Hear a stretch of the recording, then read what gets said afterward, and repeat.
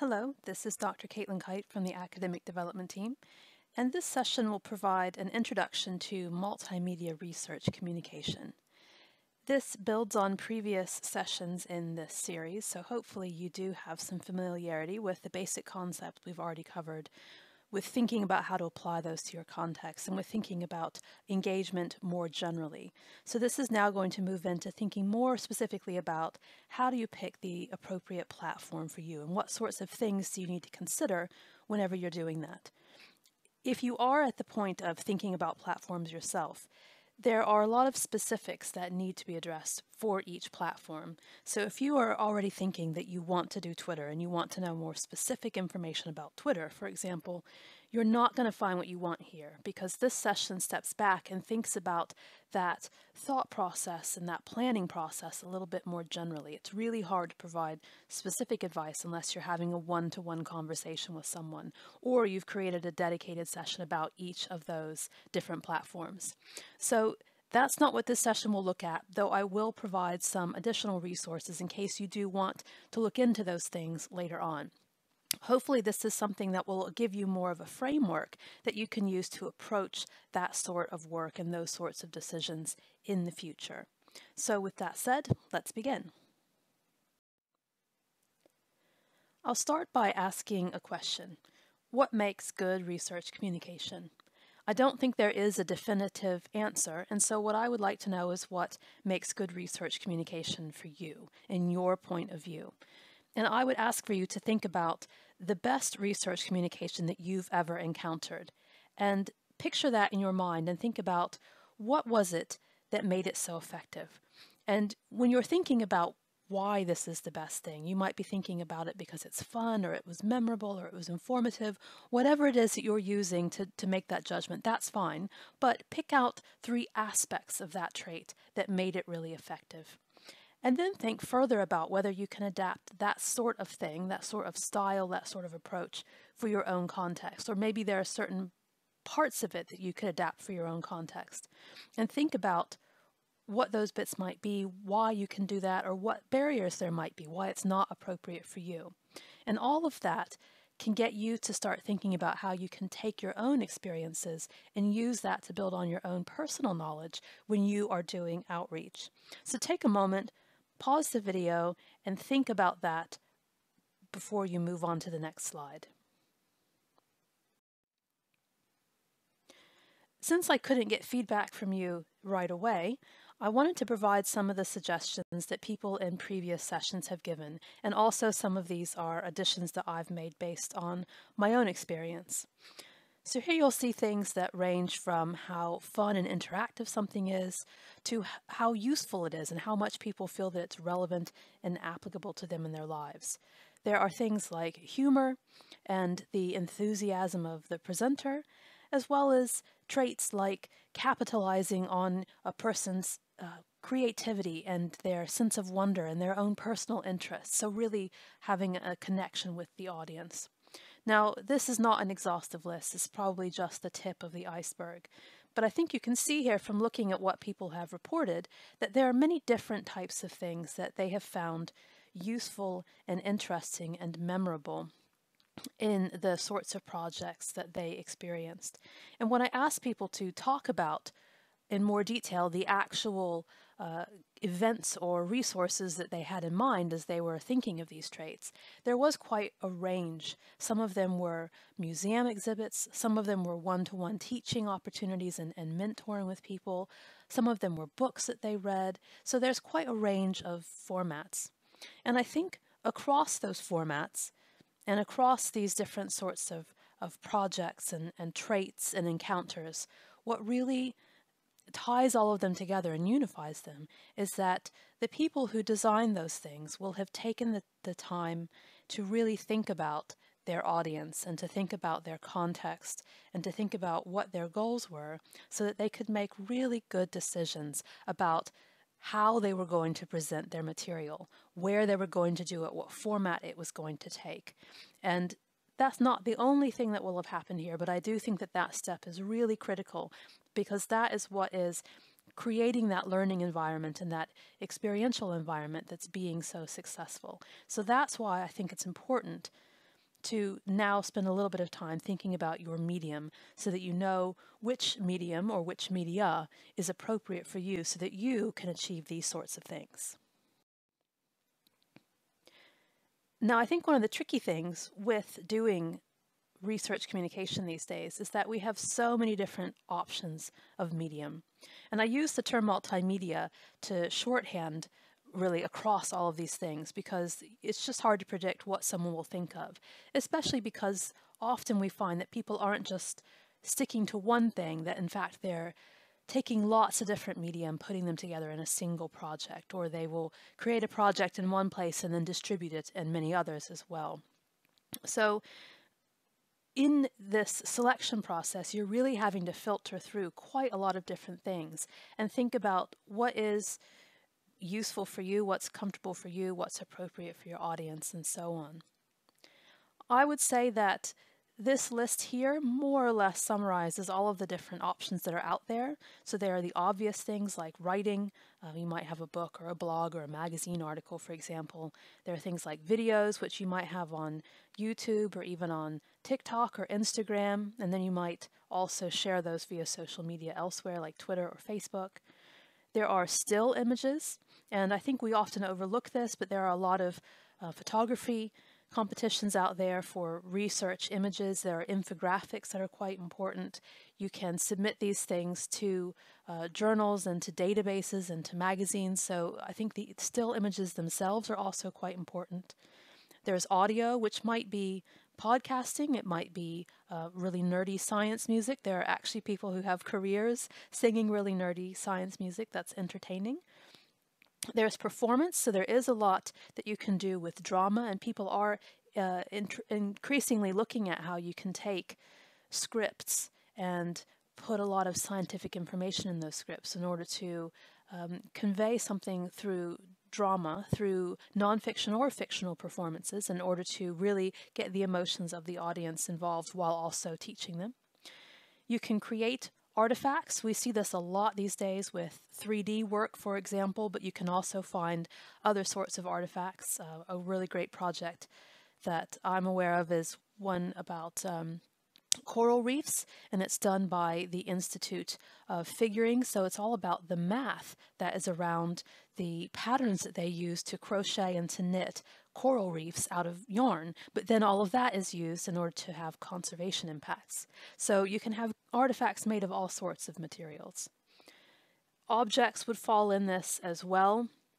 Um, so artifacts and objects kind of cross that line where basically you're thinking of something that is 3D uh, versus something that's 2D? Can it be picked up and handled? Is it just going to be looked at? But these two different things kind of uh, fill that same niche in many ways.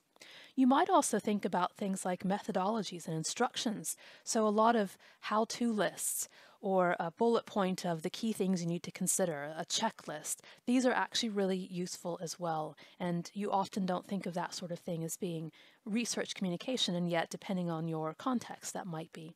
And of course, you can have things that arise from any combination of the above. So things like games and apps and web pages and social media, all of those are often drawing on multiple of these things and combining them so that you can have uh, one product that takes in lots of different media. Or you might find, as I said earlier, that it's created in one and disseminated elsewhere. But the point is that there are lots of different choices out there. And if one thing is not of use for particular audience or it's not of use because you're not good at it, you have lots of other options. But you do have to really be thinking about which is going to be most appropriate for a given project. As you are undertaking that thought process and your planning, you have to really think about how each channel is going to impact your efficacy or your potential efficacy. And these are some of the concerns that I think you really need to consider here. So who is your message going to be accessible to and also appealing to? So for example, if you are trying to reach uh, perhaps a, an older audience or an audience that's in a more rural location, it may be that social media, for example, is not something that they do very often. It's not a habit for them, it's not a big part of their lives, or perhaps it would be, but they can't get connected very well. So you don't want to be sinking all of your eggs into one basket of social media if that's not actually going to reach the people uh, that you are trying to talk to. You need to think about what aspects of a topic you want to emphasize. So if you have something that's highly visual, you probably don't want to just stick to a podcast because how are people going to be able to see the things you're talking about? Or vice versa, if you've got something that has lots of sounds, why would you just ha have a blog post, for example, that's just words? So think about what can you capitalize on that's inherent in the work that you're doing. You also want to be thinking about how much information you need to get out there and you need to include, and, and what will that information look like. So if you need to provide lots and lots of details and you want to have lots of files that people might need to download and fill in or that they could make use of, you probably don't want to have a YouTube video. You want to give them a platform where they can actually go through all of that information and have it there to, to reference. They can download those things, and it's just going to be a much easier and more efficient process. And then, of course, for your own sake, you want to be thinking about how easy is it going to be to get this out there, and how are you going to make people aware of it. So if you have got um, a 3D printed object, for example, to, to demonstrate perhaps a new device that you want to make and that you want to distribute, that's fantastic if you've actually got access to people and they can see it and play with it and understand it. But if you're at a distance, if you don't even know who your audience are yet, if you haven't made contact with them, how are you going to get that in front of them so that they can interact with it? You need to have a plan for that and think about what works. And does it need multiple stages so that you make the contact and then you set up a meeting and then you get people in a room and then you can bring out the object, for example. So all of this might require multiple levels and multiple stages of thinking, and you don't want to just lose sight of that because you're focusing only on a particular platform of interest or a particular endpoint and not everything that's needed to get you there. In order to do that effectively, I think that you need to have uh, what I refer to as an intro to marketing and an intro to comms that will underpin the thinking that you do. So I'd like to run through just a few ideas for each of those and then also show you an example of what I mean by that and how that might work in the real world.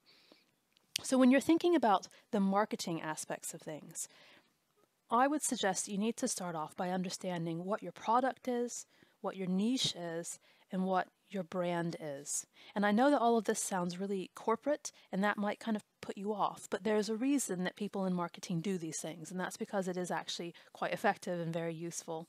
And you don't have to have a business degree to uh, employ uh, to apply these concepts, but it, it is helpful just to get a quick introduction to them. So I would suggest that your product is, in this context anyway, the knowledge that you have. If you are a researcher wanting to do research communication, then your product is that knowledge that you've got that no one else has. It's your area of expertise, and that is what you are going to somehow translate and offer to the world. So, for example, let's just say that in this case, and I've just chosen a, a random thing here that hopefully will portray this and you guys will um, kind of relate to it enough that it will make sense. Let's say that your area of expertise, your product, is information about flood mitigation techniques. Now, that is fairly broad. There are a whole lot of flood mitigation techniques, there's a whole lot of information, and there's information about many different aspects of those techniques. So that's not really narrowing down your focus too much. And that's where the concept of niche comes in. So your niche is what allows you to start thinking about um, the, the subset of the market, if you like, on which your specific product is focused. So if your product is satisfying a particular want or need, the niche is really thinking about um, how specialized that want or need is and, and who has that and who is it that you're going to be helping with this. So in this case, I would say that one niche of many that you could select here is that rather than just information generally about flood mitigation generally, you might focus in on facts about flood mitigation in farmland. So there you can say that um, you can see that what you've done is think about specifically out of all that different information, what type are you going to do and in what uh, geographical area, and that starts to refine your focus a bit. Your brand then would be the flavor of all of that. So the, the format, if you like, the style, uh, the voice that you're using, all of those things that distinguish your product from other products. And the reason that I say you also need to think about who is you is that perhaps it's not you personally. It might be your lab group, it might be you and your collaborators on a particular project, it might even be an organization or your institution that's doing this. And you might just be contributing to that. But you need to know that ahead of time so you know what voice to be using and what personality to be projecting in that. So in this case, again, you can see that I've suggested one way of further narrowing your niche and, and understanding kind of the flavor of that is to create a lab-wide effort. So this is you and all of your collaborators there working on the same topic that provides updates on the latest advances in flood mitigation tactics and in, in, farmland, which is implied here. So the idea here is that the voice would be a bunch of different experts working together, which does spread the load nicely the facts are going to be specifically the latest advances. So what you might do, for example, is scour the literature and see what's coming out each week and then have a summary of, of the latest steps or the latest um, progress that's being made. And then you already know that your topic is, is flood mitigation. So that allows you to just start off really big with your product and move smaller. And I think that this does need to happen alongside thinking about the comms because comms and marketing are really closely related as we've talked about uh, previously in these other sessions and we'll get onto here in a moment, you do have to be aware of your audience because that might help you refine as you're moving through this set of questions. But I kind of think that you need to start here even if you do quickly start running both processes in parallel, because you do need to know what your product is, even if it's just a really, really general thing. If you don't know what expertise you have to offer that no one else has to offer, then it's going to be really hard to start thinking about your audience um, and the context and all of that. So I would suggest that if nothing else, that what is your product question is the first one that you need to ask. So at some point, earlier or later, you are going to also start thinking about the comms aspects of things. And here are the three questions that I think are related to that. Who are your audience? How are you going to connect with those people and also access those people? And what are you hoping to achieve as you do that? How are you going to measure your success in the end and know that you've made a difference and that all of this was worth your time? So building on the example from the previous slide, the audience here, again, could be many people, I'm just choosing an example, but let's say that they are non-expert adults, and in particular you're thinking about farmers. So you have decided from the start that although there are lots of people out there, the folks that you really want to reach are farmers who have experience in action, even though they don't have the academic experience and that firsthand access to um, the journal articles that we were talking about on the previous slide. So you want to be able to give to them something that they don't have access to because they aren't uh, able to get through the paywalls or they aren't able to keep up to date with that because they're busy doing other stuff. Then you have to think, right, if, if these are people who are in rural areas, they are hard at work all day. They're probably not spending a lot of time on social media. Um, they may be working six days a week or even seven days a week, so they probably aren't spending lots of free time going to museums or um, just strolling about in town. How am I going to encounter them and get them this information? And it may be that the answer to that question, as it is here, is something that's a bit more uh, low tech and a bit less modern, if you like, because we get really uh, excited about things like 3D printing and anything digital, but sometimes you also need to consider stuff like flyers, newsletters, face to face conversations, knocking on doors, canvassing, and having one to one conversations. And of course, there are other options as well. I'm not suggesting that farmers don't have internet connections. Uh, I just chose this example just to highlight the fact that sometimes it is useful to think about stuff that you might think is a bit antiquated or is not what everyone else you know is doing, because sometimes that is what's more appropriate for you in a given setting. It's also really important to know what you're trying to achieve because that is going to influence what your message is and how you shape that, and then how you evaluate at the end whether you actually got to that point. So, in this case, one example of a goal might be to prevent irresponsible water use practices, to facilitate empowerment of these people, to change their voting practices, and perhaps even to seek volunteers for a project. And this is clearly a series of different goals, and that is completely fine. You don't have to have just one. But on the other hand, you don't have to have four or five either. It's completely up to you.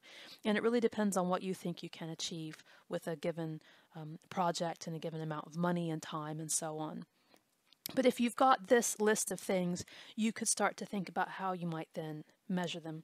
So if you want to prevent irresponsible water use, you could find out what people are doing now, and then you could engage in your communication and then see what they're doing after.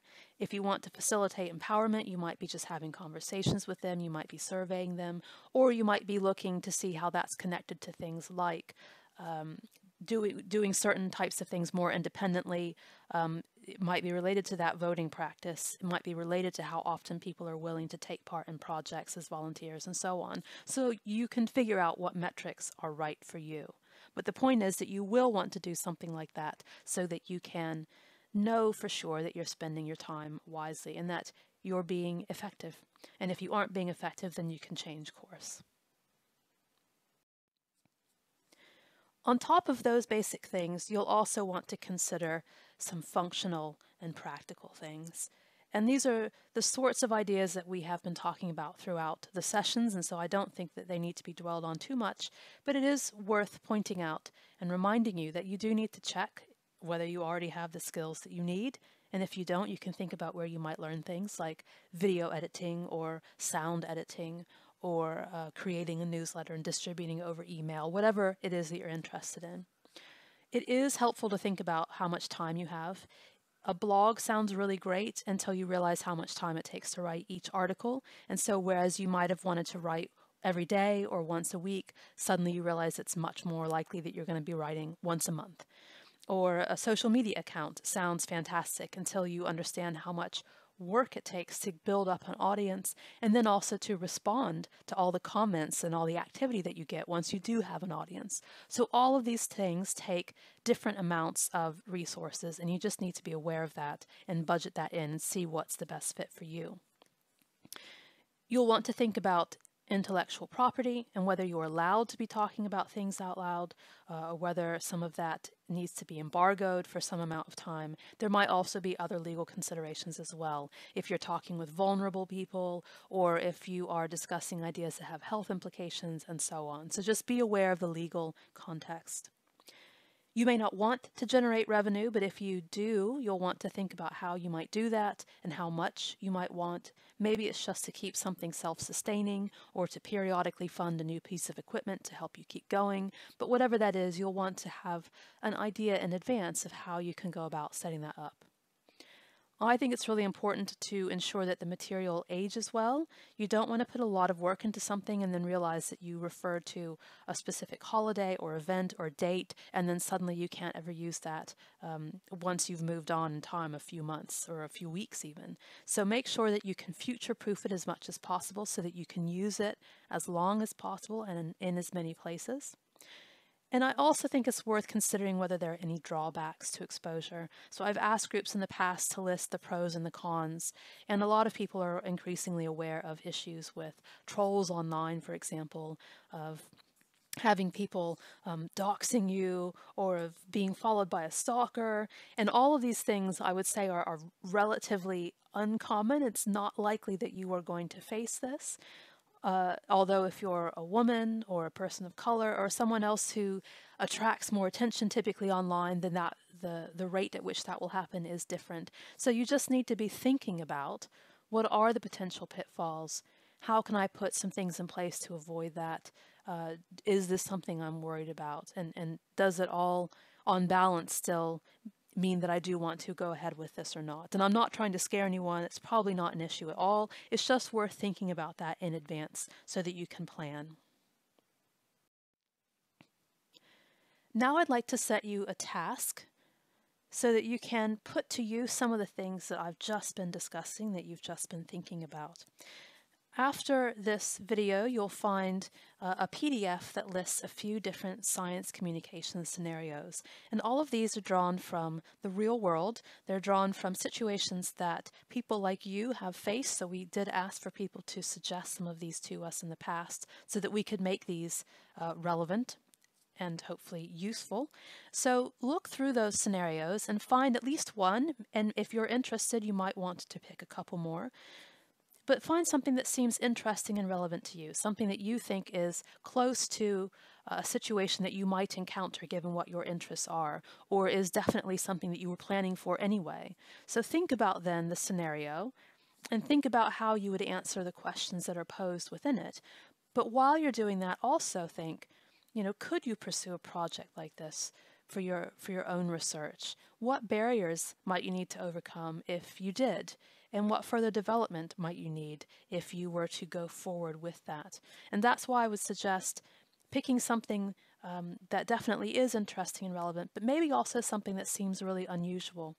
Uh, and that might get you to think a little outside the box about your own work and something new and different that you might be able to um, to do with that work. So when you're done with that, you can well, you can pause the video and go do that. And, and when you're done, you can also consult a cheat sheet that I've put together because obviously you're not here to share with each other as uh, participants in this. You're not here to share with me. But I put together a few ideas that I had in response to each, so at least you could get a sense of um, some potential outcomes. And some of the ideas that I've jotted down also are from previous participants, so it's not just me that you're hearing from, it's different voices as well. And you can see whether your approach was similar to those other approaches or if it was quite different. And there is no right or wrong answer, so that will be hopefully an interesting comparison.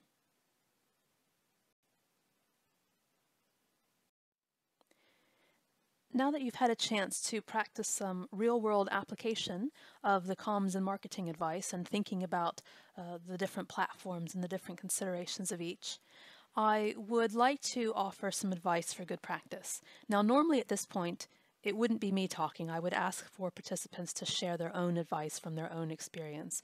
But unfortunately, that's not really possible, given that this is both digital and asynchronous. And so what I'm going to do instead is share some advice that I've had from previous participants. So you can see that here. And I will note that at least some of these things are applicable to social media, and one of them certainly is specifically about social media, so thinking about trend trends and including hashtags. And there isn't um, any of this slide set here that's really focused specifically on social media, and that is because it is a massive concept that's hard to cover all in one session, and it falls into the same category as what I was saying earlier, about things that are um, really more appropriately dealt with on a case by case basis where you can really go into a lot of depth about a particular platform.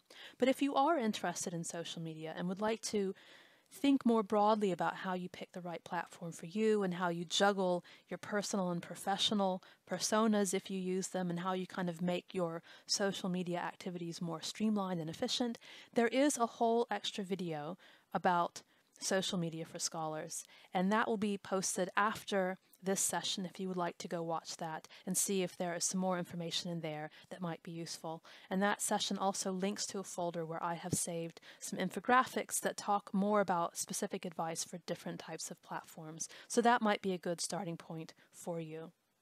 The one key thing that I want to mention here, and I'm just going to let you uh, read these, which I'm sure you have by now already, is the final point, which is the fact that you will get better the more you do stuff. Um, the images on the right of the slide are all taken from different formats in which I presented a single outreach uh, activity or set of information, if you like. So I wrote an article that I also turned into a video and did a public presentation on, and uh, created a, a Flickr album for and blogged about and um, did, I did various things now. I'm having trouble remembering, even though I'm looking at all of those uh, icons. The point is that when you do something, it's really efficient to reuse the material and, and try to put that thing in as many different places as you can. And as you go through the process of doing that, of adapting things for different audiences and different formats, and as you go through the process of doing um, a different type of thing for each format, so one video and now another video and now a podcast, you start to become much more comfortable and you start to develop some intuition about some techniques that will work for you. You'll get feedback from your audience. You'll have your own kind of internal barometer that gives you feedback, and that will allow you to adjust course as you go. So I would suggest that really you just start. Don't worry about how good you are or how bad you are. Just start playing around and getting some experience and reflecting on how things go and trying to learn from that. And and don't be scared off by the idea of it and and by the fact that, you know, if you are communicating, you're putting something out into the world and you might embarrass yourself. You're not going to embarrass yourself. You know, someone is going to find it interesting or useful, someone will give you great feedback, and ultimately it will be a really good learning experience no matter what. So I would say don't be afraid, just dive right in. Now, I'd like to end up by asking for you to share any advice that I might not have had on that last slide. And also, while you're at it, perhaps you could give me some information about what other scenarios might have been useful in the collection that I sent, whether you struggled with anything as you were thinking about those scenarios, what were the, the comms and marketing and outreach uh, and, and research communication questions that you were coming up with as you were trying to think through those and what other um, skills would you like to have? And also perhaps you could discuss more about what you think makes good research comms. So that very first question that i asked you about a good research communication experience maybe you can share some of your ideas from that as well. And i'd love to have your feedback so that i can incorporate all of those things either below this session, if I hear um, from enough of you, I can create something that captures all of your thoughts, but I can also feed this into future sessions face to face and also online. So it would be great to have your feedback on additional issues and questions.